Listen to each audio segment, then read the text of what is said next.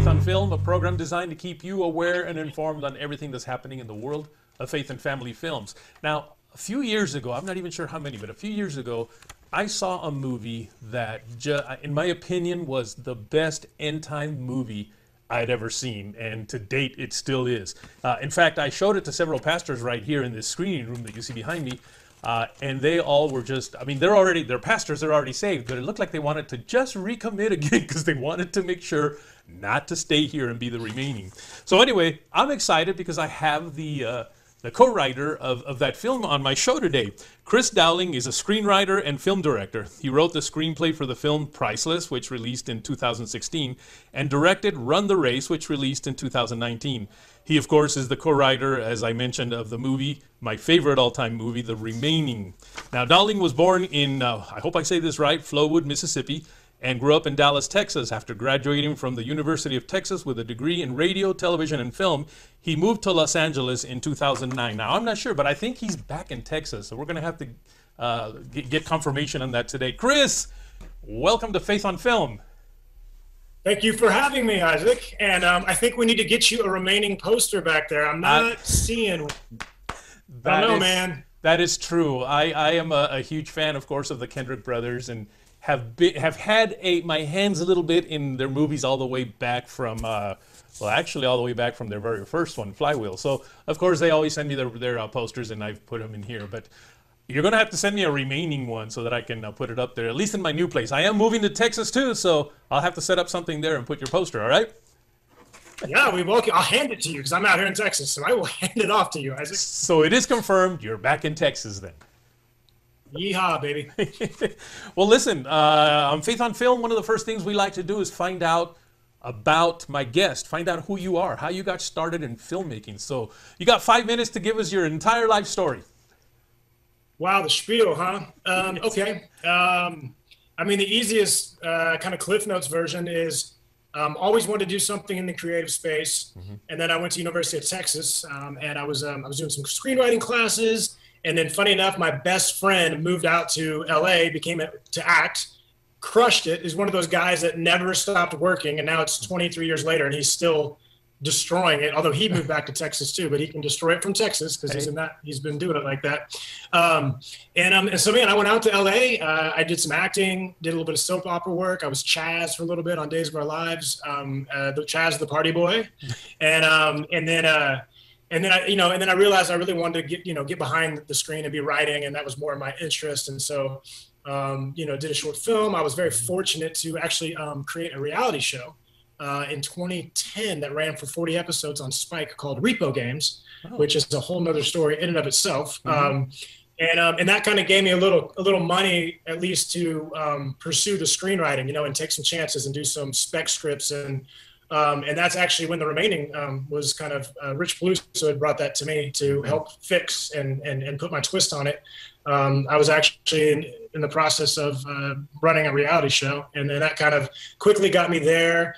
And then I did a movie called Where Hope Grows, which I'm extremely proud of. And uh, you know the the Hollywood Reporter said it was the first American film with the Down with the lead actor with Down syndrome. Wow. Um, and I can go on days about that movie, but um, yeah, man. And then from there, then I got Priceless. They had seen that and they called me. So I got to work with For King and Country on that, which was really awesome.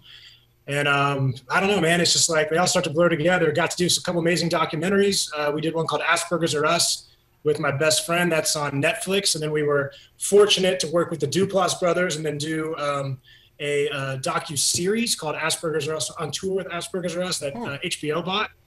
And um, yeah, man, and sprinkled in a couple other ones along the way. Got to work with Tim Tebow on Run the Race, which was really cool. And um, and now there's some other things that are you know in the works and happening. And just released um, a movie with Nick Searcy, The Man from Nowhere, which um, I, you know I got to.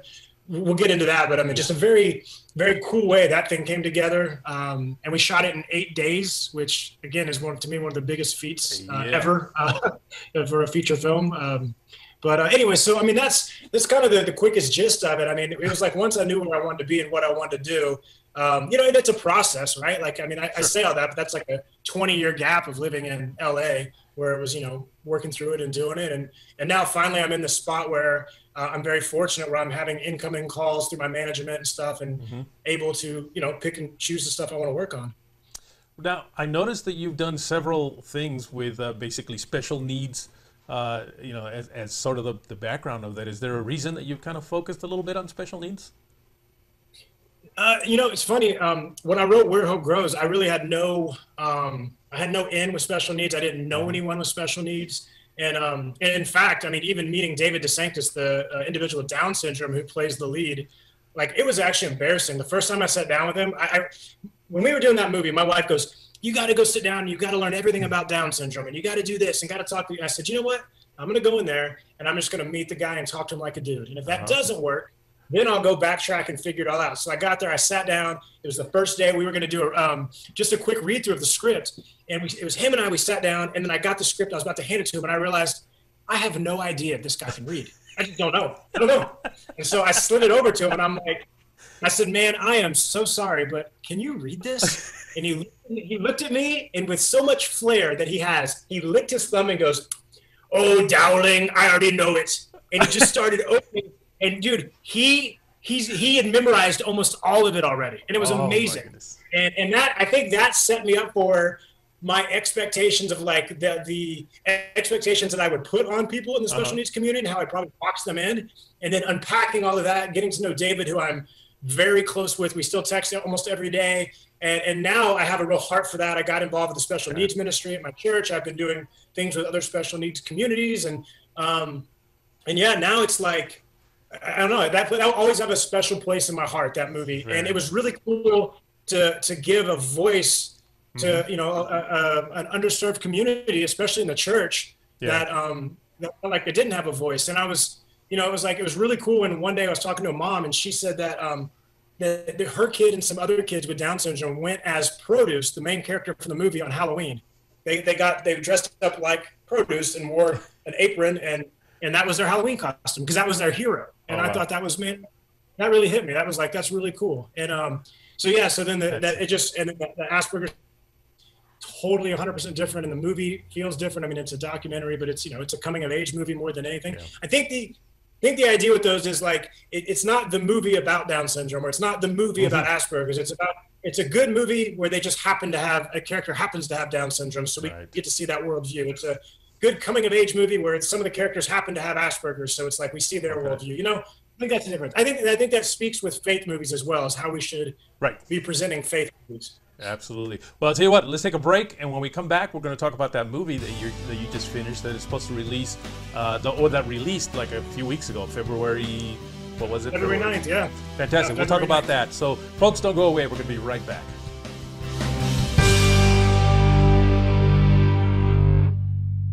Hello, I'm Mike Lindell, inventor of My Pillow. Thanks to your support, you've helped make My Pillow become one of the fastest growing companies in America. Over the last 12 years, you've helped My Pillow create thousands of jobs right here in the USA. When I got My Pillow, I'm asleep almost immediately. I stay asleep at night and I wake up more well rested in the morning. That's why I invented My Pillow. My patented fill adjusts to your exact individual needs and helps keep your neck supported and aligned. I'm interrupting this commercial right now. Retailers have canceled my pillow, and to thank you for your support, I'm gonna pass the savings directly on to you. Go to mypillow.com right now to get deep discounts on all my pillow products. For example, you can get my premium my pillows regularly $69.98, now just $29.98, the lowest price ever. For the best night's sleep in the whole wide world, visit mypillow.com.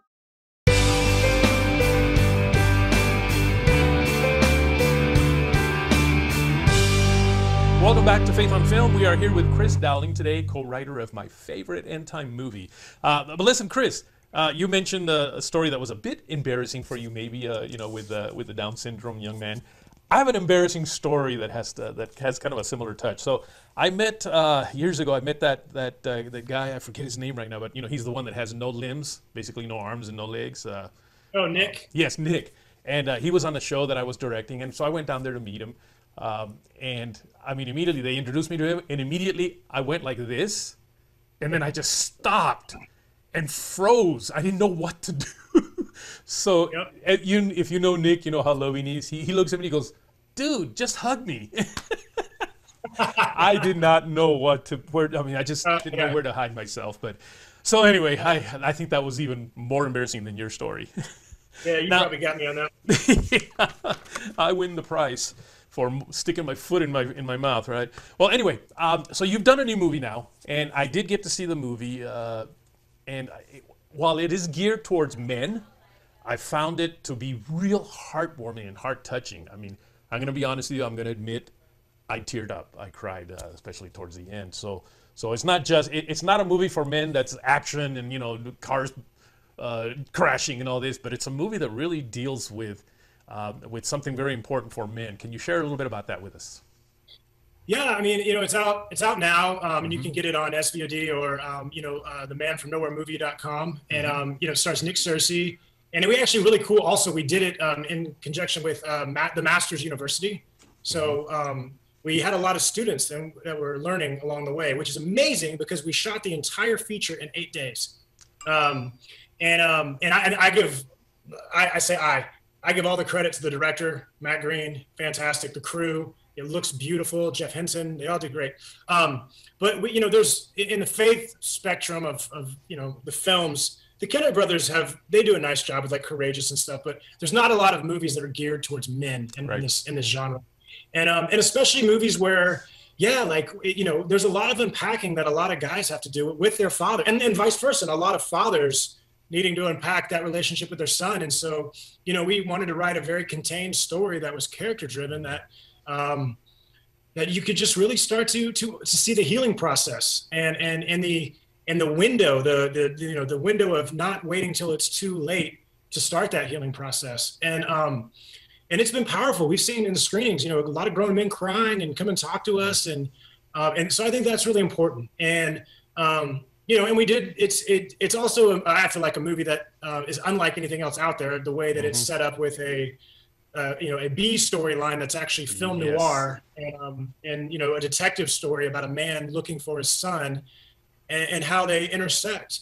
And um, I think there's something real powerful even in the movie where you know the son is having trouble connecting with his dad, but he somehow starts connecting with this detective in this book who is you know looking for his son, and it's easier. And I think for guys that a lot of times that is easier. It's like I can read a book and deal with my feelings, or I can do do with it over here, but I can't do it with you, who the problem is with that, or who, Yep. you know what I mean. So, um, so yeah, and we, you know, and and for us, you know, there's also you know there's a workbook for it for tools for ministries and stuff, and um, and we also have been told, which um, really like that it's really landing on millennials just because of um, Right. a because you know the actor is young in there too, and, and just the feel of it because it you know it doesn't feel cheesy or anything. It feels like an independent film, but also because you know it's where a lot of these guys are dealing with their dads right now. We're catching them in the right spot, so it's it's actually a pretty powerful tool for like youth groups and stuff, um, and, and the boys in there to to deal with that. Um, so yeah, it's it's been great, and um, you know Nick was great to come on board, and um, and we're just we're just excited to see where it still goes. It's a little scary for me because this is the first movie I think I've ever done where I didn't have a, a studio behind us pushing it, and um and we just did this one ourselves, man. We edited it during quarantine, and um, we just decided we wanted to give it a shot and put it on our own, and um, and so you know here we go. Well, I do have to say that uh, you know since you mentioned that you shot it in eight days, most people can get the idea that oh it must be one of those really low budget movies. I don't know what the budget was, and I know you did it in eight days, but I got to tell you, it looks like a really well put together high end movie, if you will. And one thing that I liked about Yeah. it is that even though it's a it, is a Christian movie or a faith based movie. I don't even know anymore why we tend to use those terms, but uh, it does have a Christian worldview. But as you mentioned, it's not cheesy. I can attest to that. It was just a great movie that anybody can see.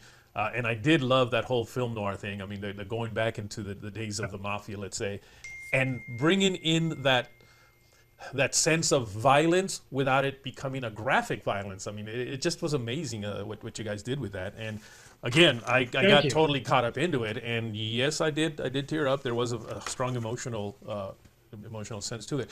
Can you tell us again how people can watch it? Or yeah, you were going to say something. Well, I was going to say, um, you know, you, you you teared up, which I love, but hopefully you laughed a little bit along the way as well. Oh, I tried, did. and I think Nick did a good job inserting some humor in there and There you know, was- finding the- the moments to give it. Some there, there was I got afraid a few times, you know, when, when you see some of that those scenes, it's like, oh, what's gonna happen? So there, there was I just kind of ran the gamut of emotions, you know, and but that was nice to see in a film that uh, as you mentioned, isn't cheesy and isn't geared towards that female audience, which most Christian movies, to be honest with you, tend to be. They, they're they're there to grab that female audience because movies, and I've said this before on this show, movies, you, the way you used to recoup your financing on movies was you would sell DVDs. Where would they sell the DVDs for faith-based movies? Was in Christian bookstores. Who would go to Christian bookstores to buy those DVDs to bring it to the family? The moms and the grandmas. And so everybody was sure. gearing the movies for them to like, so they would bring home to the to the family. Of course, the boys and the dads, uh, and the and the, the dads would probably be like, oh, not another one of those. But this one really does get away from that. So I think you guys did a marvelous job. I'll tell you what. Oh, yeah. So I was asking you, how, how again can people watch this movie? Uh, yeah, like um, Amazon and, and, you know places where you do the SVOD on the streaming sites, um, and then um, and then you know you can go look for uh, the DVD or the mm-hmm. Um, the book at the Man from Nowhere Movie.com or Man from Nowhere Movie.com. I don't know where the will take you. Man from Nowhere Movie.com. So um, so, anyways, um, but yeah, so you know, we're again excited, excited to see the lives it's touching and and just the reactions we're getting. It's, it's pretty awesome. Terrific. Well, listen, we're going to take another break and then we'll come back. We're going to talk a little bit about maybe what's in your future. I'm sure you've got some plans already of what to do next. So, folks, don't go away. We're going to be right back.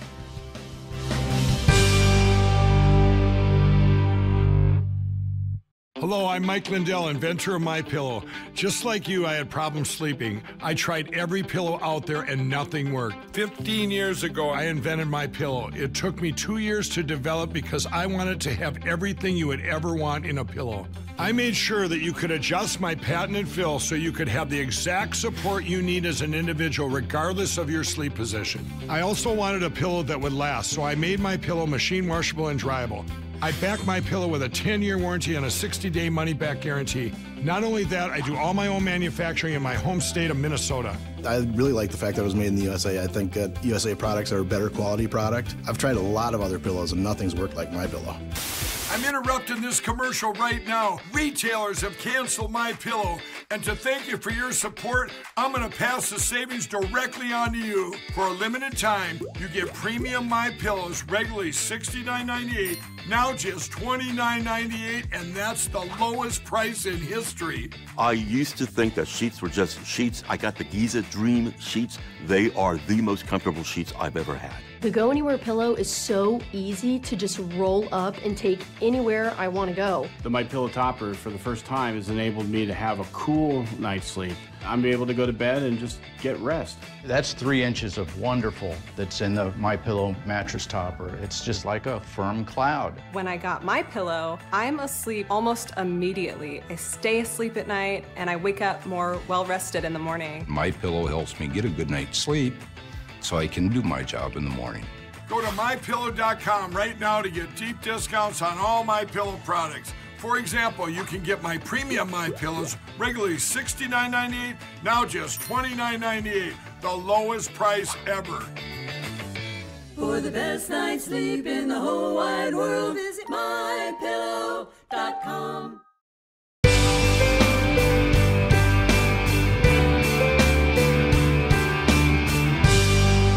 Welcome back to Faith on Film. We're here again with Chris Dowling, uh, just a wonderful screenwriter and director. I'm a huge fan of some of his movies that he's done. So, Chris, um, we've talked about the, the movies that you've done in the past. We've talked about the one that's just come out a few weeks ago. But I'm sure there must be something else there uh, already in your heart or in your head as to what you're uh, planning for the future. What's what's up with, with Chris in the future? Yeah, um, a lot of cool stuff, man. Um, we've got, I've got a, a movie um, that there's going to be some news coming out on that, that was shot. It's a Dennis Quaid movie um, called um, On the Line. It's a true story. It's a crazy true story, but but that one there's news coming out. It'll be released here in the next quarter. Uh, I shot a movie with Chonda Pierce called Roll with It. I'm a huge '80s fan, and I just I love the vibe of '80s movies, and like it's just basically irreverent, and you can just sit back and enjoy a movie, which I think it's we're so hypercritical now and it's tougher. Um, and so it's a great, just kind of fun throwback movie. Uh, it's karaoke. We've got amazing songs in there. Got Michael W. Smith singing uh, "Freebird" as a redneck uh, trucker in that movie, um, and uh, and it's a lot of fun. Um, yeah, we got great songs. So also coming out um, either somewhere between uh, late spring, early summer. We're still working on the details for the distribution on that one. Um, and then uh, there's a couple projects right now that I'm I'm currently writing uh, two true stories that um, I mean I can't those are those are happening, which are cool. But then there's one I'm all, another one that is uh, the, the life story of little Jimmy Dickens, who I don't know. It's funny if you're outside of Nashville, a lot of people don't know him, but in Nashville, he's like so revered. And um, in fact, if you're walking the Ryman Auditorium on the outside, there's like Hank and I don't know Waylon Jennings and maybe Roy Acuff, and there's these statues. Then you get to the front the box office, and there's one statue, and that's the little four foot eleven man Jimmy Dickens. And so um, he's got this really crazy love story with his wife uh, Mona, and uh, Jimmy's no longer with us, but um, and it's basically it's their story, and it's really cool, and it and it, it really gets into the um, the, the Grand Ole Opry and that time period of country music in the late '60s into the early '70s, and um, and so I've been um, I'm, I'm on my, almost finished the first draft on that one. Um, very excited about that one, and um, and then I'm supposed to be shooting a musical um, in July in Nashville called Undone that we haven't really announced yet, but um, I don't know. I guess I, I guess you, I just did.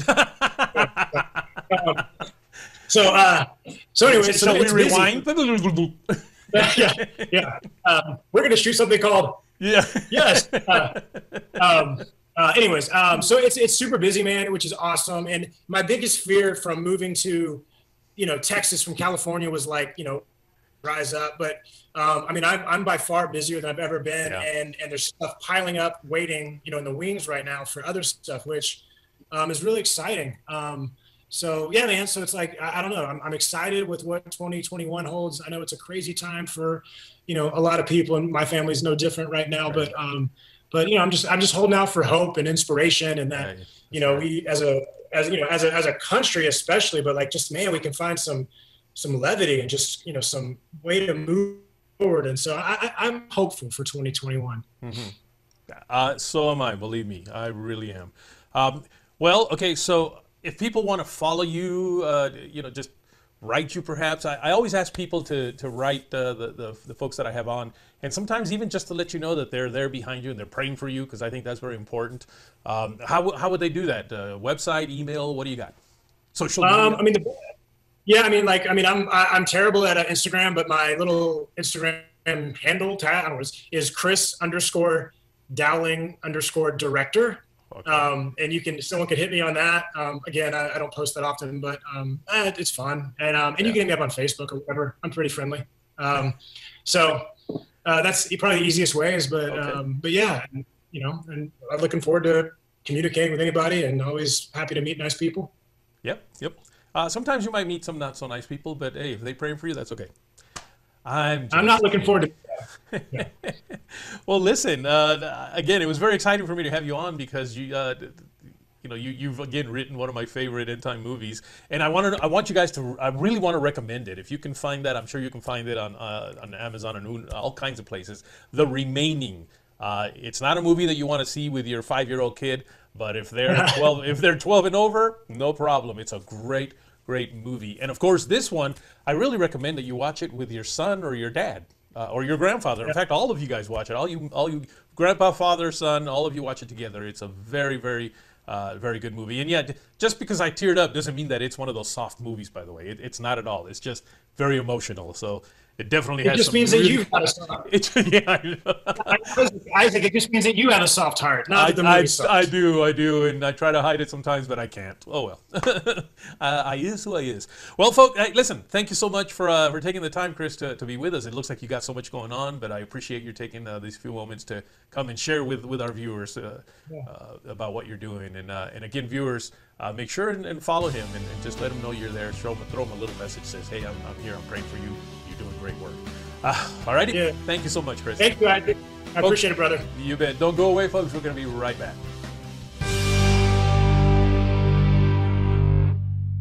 Hello, I'm Mike Lindell, inventor of My Pillow. Just like you, I had problems sleeping. I tried every pillow out there and nothing worked. 15 years ago, I invented My Pillow. It took me 2 years to develop because I wanted to have everything you would ever want in a pillow. I made sure that you could adjust my patented fill so you could have the exact support you need as an individual regardless of your sleep position. I also wanted a pillow that would last, so I made my pillow machine washable and dryable.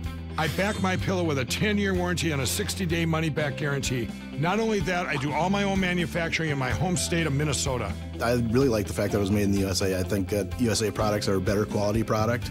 I've tried a lot of other pillows and nothing's worked like my pillow.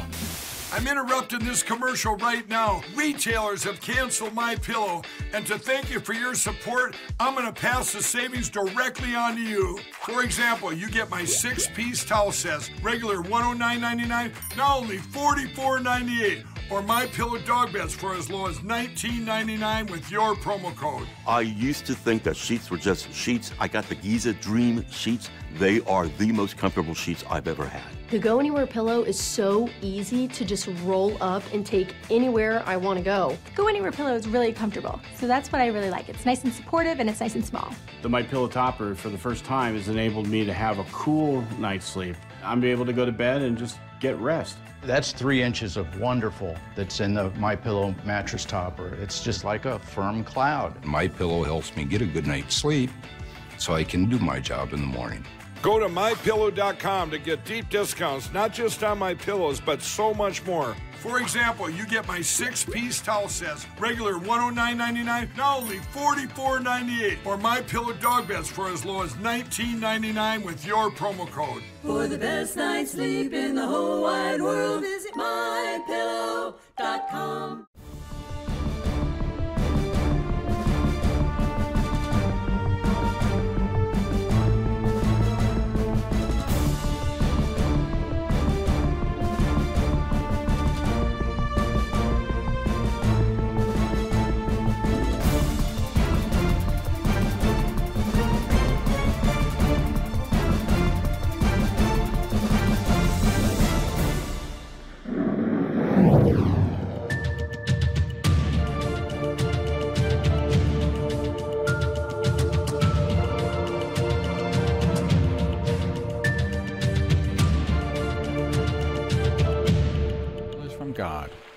a devotional filled with practical yet inspirational teachings and real life experiences with real word application which will encourage the reader. Order your copy today at Amazon.com or motivatedbylove.org.